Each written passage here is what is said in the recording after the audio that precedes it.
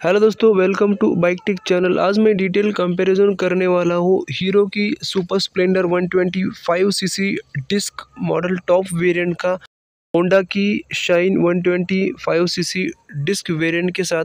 तो इसमें आपको क्या क्या फीचर्स मिलते हैं, इसकी प्राइस क्या है, सारे डिटेल्स आपको वीडियो में इन दोनों की प्राइस में आपको सिर्फ़ पाँच सौ या छः सौ रुपये का डिफरेंस देखने को मिल जाएगा। बात करते हैं होंडा की शाइन की तो यहाँ पे आपको फ्रंट में ब्लैक कलर का वाइजर मिलता है, यहाँ पे होंडा का लोगो मिलता है और क्रोम की यहाँ पे हेडलाइट के ऊपर ट्रीटमेंट आपको देखने को मिल जाती है। और साइड में आप देख सकते थोड़े से ग्राफिक्स आपको मिलते हैं, बाकी यहाँ हेलोजन हेडलैम्प सेटअप आपको मिल जाता है और उसके साइड में आप देख सकते थोड़े से आपको येलो कलर में और यहाँ पे थोड़े से ग्राफिक्स देखने को मिल जाते हैं। यहाँ पे हेलोजन टाइप इंडिकेटर्स आपको देखने को मिल जाते हैं। वही अगर सुपर स्प्लेंडर की बात करें, यहाँ पे आपको फ्रंट में आप देख सकते हैं वाइजर ब्लैक मिलते हैं। हीरो का लोगो मिलता है और शाइन जैसी आपको क्रोम की ट्रीटमेंट यहाँ पे हेडलाइट के ऊपर मिलते हैं। बाकी यहाँ हेडलाइट सेटअप आपको हेलोजन में मिल जाता है। और इसमें ख़ास बात ये है कि ये होंडा की शाइन की तरह जब आप स्टार्ट करते हैं, एकदम चालू नहीं रहती है, इसको बटन की तरह स्टार्ट करना पड़ता है। तो ये काफ़ी अच्छी बात है। यहाँ पे आप देख सकते हैं, टेलीस्कोपिक सस्पेंशन आपको शाइन में देखने को मिल जाते हैं। बाकी डिस्क आपको नीचे की तरफ़ मिल जाती है, सिंगल चैनल एबीएस में बाइक आ जाती है। और दोनों साइड में रिफ्लेक्टर मिलते हैं, अस्सी सौ अठारह का ट्यूबलेस टायर आपको देखने को मिल जाता है बाइब्री के कैलिपर मिलते हैं। मडगार्ड आपको बॉडी कलर में देखने को मिल जाता है। तो आप वही बात करते हैं, सुपर स्प्लेंडर की, यहाँ पे आप मडगार्ड देख सकते हैं, काफ़ी चौड़ा मिल जाता है, टेलीस्कोपिक सस्पेंशन आपको मिल जाते हैं। कैलिपर्स आपको बाइब्री के नीचे मिल जाते हैं, बाकी डिस्क ब्रेक आपको फ्रंट में मिल जाता है। और दोनों साइड में आपको रिफ्लेक्टर मिल जाते हैं और ऑयविल्स आपको ब्लैक कलर मिल जाते हैं और अस्सी सौ अठारह के ट्यूबलेस टायर मिलते हैं। अठारह इंच के आपको अलॉयविल्स यहाँ पर देखने को मिल जाते हैं। वही करते हैं शाइन की टैंक की बात तो यहाँ पे आपको मैट कलर में टैंक का कलर आपको देखने को मिल जाता है। बाकी होंडा का लोगो आपको क्रोम के ट्रीटमेंट में देखने को मिल जाता है, जो कि थ्री में आपको मिलता है। और यहाँ पे ग्राफिक्स आपको येलो और ग्रे कलर में काफ़ी अच्छी यहाँ पे कॉम्बिनेशन इसकी देखने को मिल जाती है, जो काफ़ी अच्छे डिज़ाइन में आपको मिलते हैं। नीचे आपको क्रोम की ट्रीटमेंट थोड़ी सी देखने को मिल जाती है 125 सीसी की यहाँ पे। बैजिंग आपको मिलती है, बाकी साढ़े दस लीटर का आपको फ्यूल टैंक देखने को मिल जाता है, जो कि आप इसको देख सकते हैं, जो काफ़ी अच्छा कलर आपको मिल जाता है। वही बात करते हैं स्प्लेंडर की सुपर स्प्लेंडर का यहाँ पे आपको लोगो मिलता है थ्री में नहीं मिलता है, बाकी ऑरेंज कलर की आपको स्टिकरिंग देखने को मिल जाती है।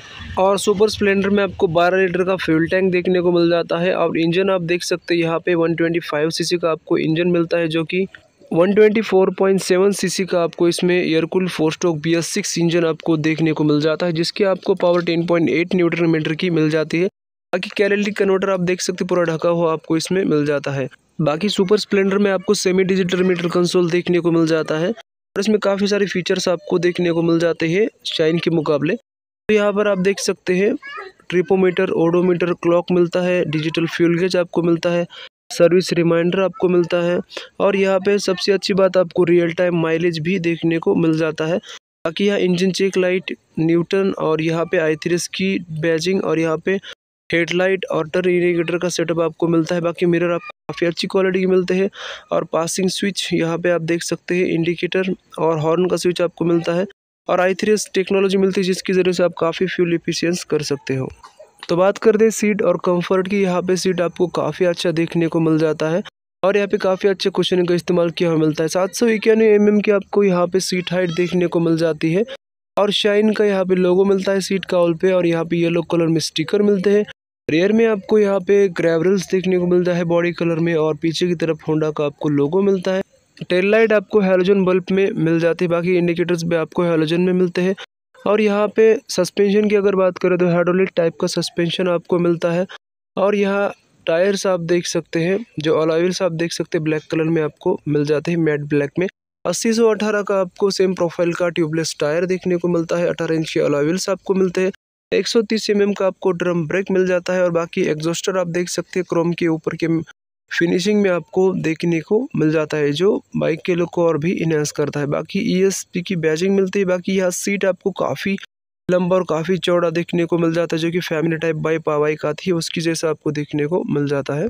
सात सौ निन्यानवे एम एम की आपको सीट हाइट यहाँ पे देखने को मिल जाती है। इसका कर्वेट आपको 130 केजी का मिल जाता है, जो कि शाइन से आपको 8 केजी भारी मिल जाती है।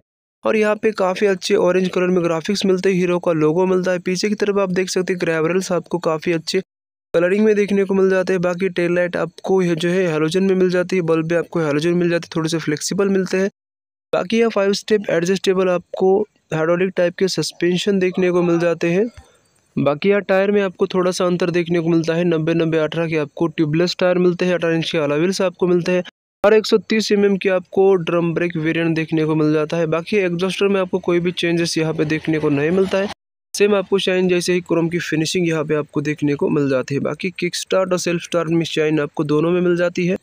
ग्राउंड क्लियरेंस आपको एक सौ mm का देखने को मिल जाता है। बाकी कैटेलिटिक कन्वर्टर पे आपको कोई भी कवरिंग यहाँ पे देखने को नहीं मिलती, जिससे कि पैर चलने का खतरा और भी बढ़ जाता है। बाकी एक लीटर आपको ऑयल यहाँ पे डाल सकती है और यहाँ पे आप देख सकते सिंगल हॉर्न आपको मिल जाता है।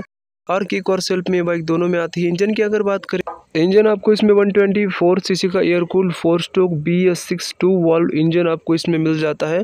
इन दोनों बाइक में आपको पावर एकदम सेम मिल जाती है बट आपको जो है इसकी टॉर्क है, जो पॉइंट फोर इसमें आपको कम मिल जाती है, जो कि शाइन की पावर आपको पॉइंट फोर ज़्यादा मिलती है। सुपर स्प्लेंडर का वेट आपको शाइन से आठ के जी ज़्यादा देखने को मिल जाता है, और इसकी जो ग्राउंड क्लियरेंस है, वो भी आपको शाइन से लगभग ज़्यादा देखने को मिल जाती है। बाकी कंपनी फिटेड यहाँ पे साड़ी गार्ड मिलता है फुटरेस आपको मिलता है और यहाँ पे फाइव स्पीड गियर बॉक्स मिलते हैं side stand engine cut up system मिलता है।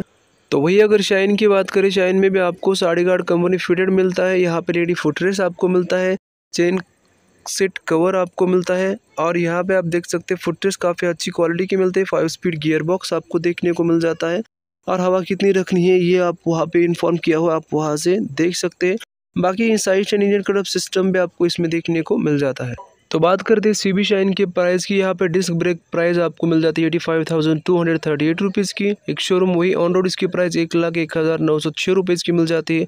वही अगर सुपर स्प्लेंडर की बात करें डिस्क वेरियंट टॉप मॉडल की eighty three thousand one hundred sixty eight rupees की मिल जाती है। वही ऑन रोड आपको एक लाख एक हज़ार दो सौ तीन रुपये की मिल जाती है। यानी कि इसमें आपको ज़्यादा डिफरेंस देखने को नहीं मिलता है। पाँच सौ या छः सौ रुपये का डिफरेंस आपको इसमें देखने को मिल जाता है। तो बाइक आपको कैसी लगी, आप कमेंट बॉक्स में ज़रूर कमेंट करके बताएँ।